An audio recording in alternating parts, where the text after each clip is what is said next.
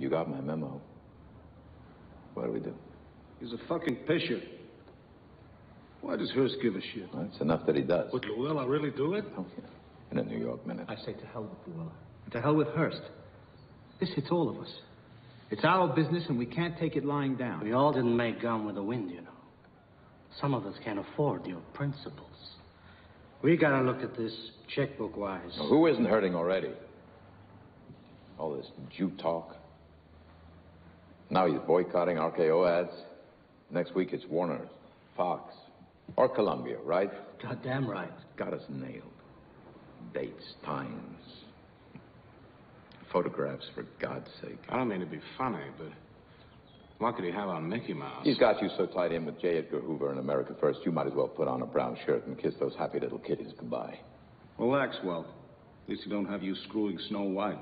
I got fucking Errol Flynn on my payroll. You're a smart man, Louis.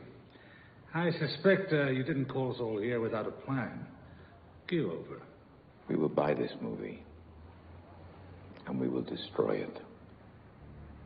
We will assemble a fund between us, and we will go to George Schaefer. And we will buy the negative at every print of Citizen Kane, If I don't hear an objection to this agenda in the next five seconds, I'll assume the motion is carried.